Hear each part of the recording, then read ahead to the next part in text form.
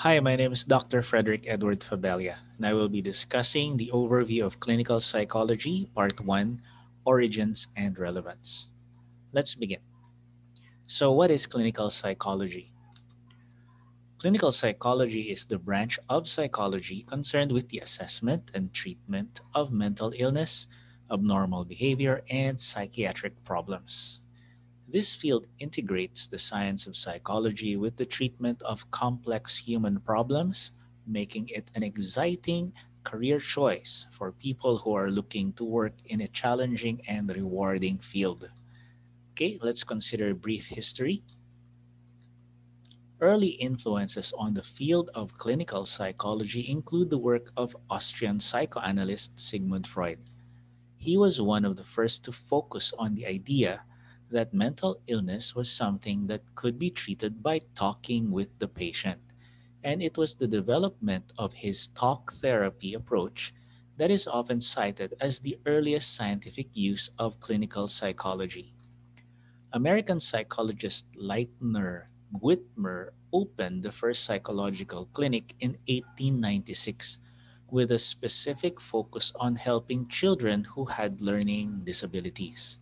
It was also Witmer who first introduced the term clinical psychology in a 1907 paper.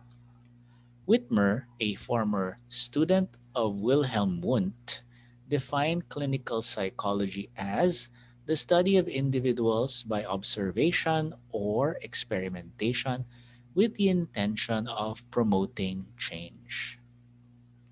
Clinical psychology became established during the period of World War I as practitioners demonstrated the usefulness of psychological assessments. In 1917, the American Association of Clinical Psychology was established, although it was replaced just two years later with the establishment of the American Psychological Association. During World War II, clinical psychologists were called upon to help treat what was then known as shell shock, now referred to as post traumatic stress disorder or PTSD. While the early focus in clinical psychology had been largely on science and research, graduate programs began adding additional emphasis on psychotherapy in clinical psychology PhD programs, this approach is today referred to as the scientist practitioner or Boulder model. Later, the Doctor of Psychology degree option emerged, which placed a greater emphasis on professional practice rather than research. The practice oriented doctorate degree in clinical psychology is known as the practitioner scholar or Vail model. So we now see that there are two branches. PhD is more on research while PsyD is more on clinical practice. Okay, so let's consider the aims of clinical psychology. The aim of clinical psychology is to understand, predict, and treat or alleviate disorders disabilities, or any kind of maladjustment. This aim involves a variety of clinical specialties and competencies, such as the assessment of problems or impairments, the formulation of problems, which is linked to clinical judgment, and the indicated treatments for these problems. A second aim is to act on a preventative level to promote human adaptation adjustment, and personal development, thereby placing a focus also on the prevention of mental health conditions. Okay, let's consider the clinical psychologist. Clinical psychology is inherently an area of applied research which transfers findings into practice clinical psychologists are involved in research, teaching, and supervision, program development and evaluation, consultation, public policy, professional practice, and other activities that promote psychological health in individuals, families, groups, and organizations. In terms of work settings, these include individual practice mental health service units, managed health care organizations, counseling centers, and different departments in hospitals, schools, universities, industry, legal systems, medical systems, and government agencies. Okay. So let's consider famous case studies wherein clinical psychologists were very much involved. So, who was Phineas Gage? The case of Phineas Gage is one of the most cited cases in psychology.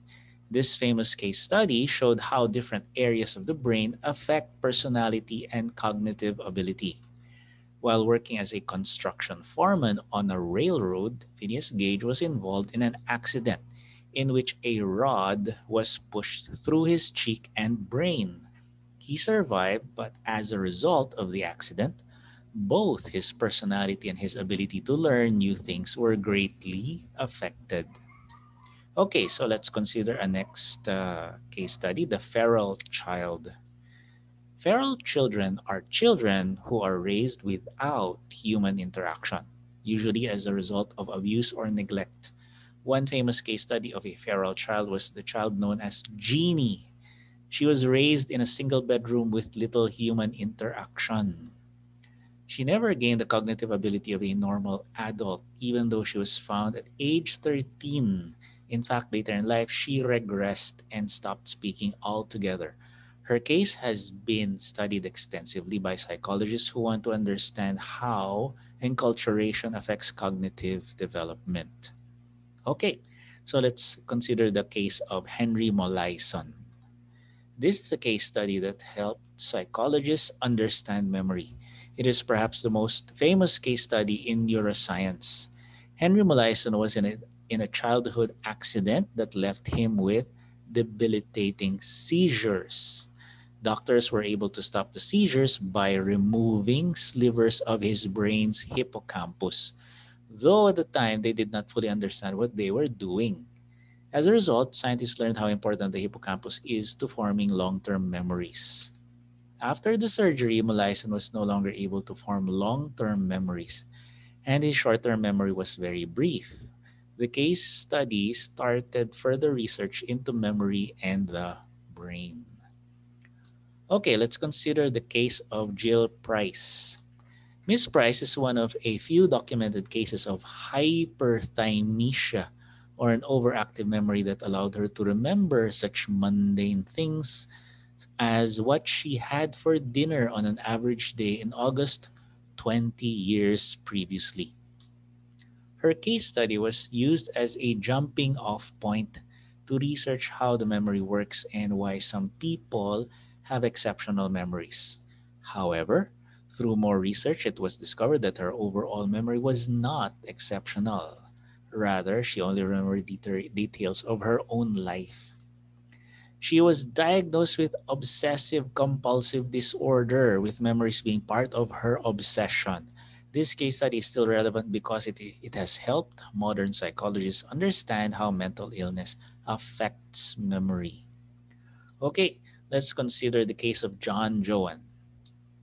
In the John Joan case study, a reputable sexologist tested his theory that nurture, not nature, determined gender. The case study has been cited extensively and laid the groundwork for other research into gender identity. Unfortunately, the case study was not legitimate. In this study, Dr. John Money performed surgery on an infant whose penis was damaged during circumcision. The boy was raised as a girl. However, he never identified as female and eventually went through more surgery to become male again because Dr. Money didn't follow up with the patient appropriately and did not report adverse findings, the case study is still often cited as being successful. Okay, let's consider the case of Anna O.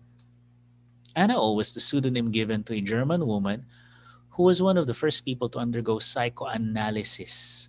Her case inspired many of the theories of Freud and other prominent psychologists of the time. It was determined that at that time, Anna's symptoms of depression and illness were eliminated through talk therapy. More recently, it has been suggested that Anna O had another illness such as epilepsy, from which she may have recovered during the period of time that the therapy lasted. This case study is still cited as a reason psychologists believe that psychotherapy or talk therapy can be helpful to many patients. And let's consider the case of Chris Sizemore. One of the most famous case studies in psychology is that of Chris Sizemore. She was one of the first people to be diagnosed with multiple personality disorder, now called dissociative identity disorder. In her case, the alter personalities were all merged into one personality over which she had control. She did, however, remember specific events in her life as happening to specific personalities. Her case, diagnosis, and treatment informed treating this mental disorder in a variety of cases over the years. And it was even turned into a movie, which is entitled Eve. Okay, so that ends my discussion on the overview of clinical psychology, origins, and relevance.